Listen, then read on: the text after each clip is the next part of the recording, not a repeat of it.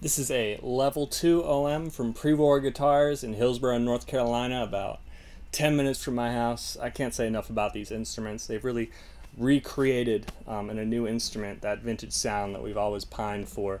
You gotta hear it to believe it, really. I did a little Carolina breakdown at Etta Baker for you there, give you an idea of how we do it down here in North Carolina. Thank you for watching. I'm Robin Snurl over here at Midwood Guitar Studio. Give us a call about this guitar.